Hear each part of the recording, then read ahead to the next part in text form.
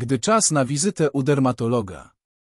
Łuszczyca, egzema i AZS to bardzo często występujące choroby skóry, które wymagają interwencji lekarza. Ciężko je rozpoznać, co więcej można je pomylić lub uznać za całkiem inną chorobę, która będzie wymagała całkowicie odmiennego sposobu leczenia. Warto jednak orientować się, jakie objawy są zwiastunem konkretnej choroby i na co powinniśmy zwrócić uwagę, gdy wystąpią u nas lub u naszych bliskich niepokojące zmiany skórne. Łuszczyca Łuszczyca znana jest ludzkości od wieków.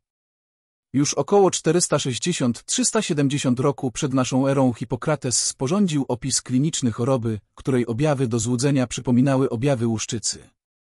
Niestety łuszczyca aż do XIX wieku była mylona z trądem, co było bardzo krzywdzące dla chorych. Łuszczyca nie jest bowiem chorobą zaraźliwą.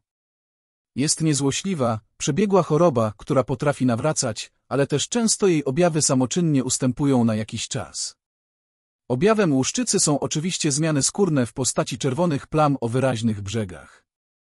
Prawie zawsze łuszczycy towarzyszy także łuszczyca paznokci, natomiast u około 5-20 chorych na łuszczycę pospolitą występuje jej stawowa odmiana.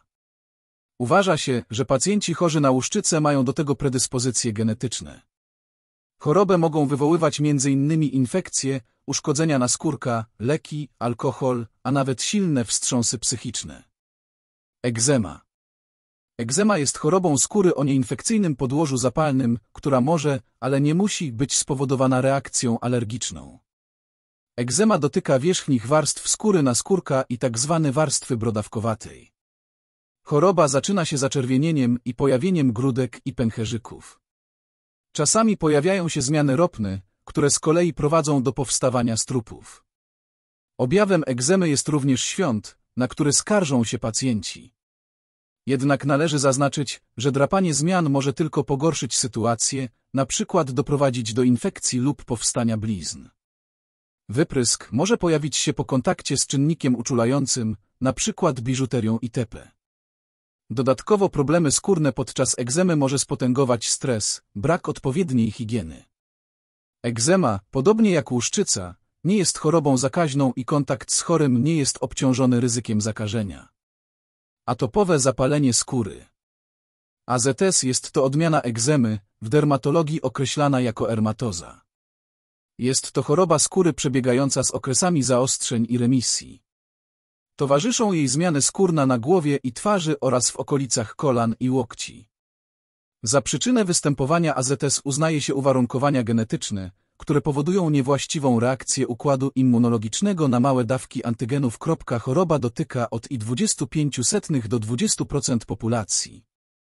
Najczęściej występuje we wczesnych latach życia, jednak niektórzy chorzy mogą borykać się z jej nawrotami nawet całe życie. Podobnie jak dwie pozostałe choroby, AZS nie jest zaraźliwe. Pierwszym krokiem zawsze powinno być udanie się do lekarza, by zdiagnozował dany przypadek. Każdą chorobę powinno się leczyć odpowiednimi lekami, a każdego pacjenta traktować indywidualnie. Istotne jest też to, że czynnikiem powodującym chorobę mogą być zupełnie inne substancje i uwarunkowania. Artykuł powstał przy współpracy z febumet.com.pl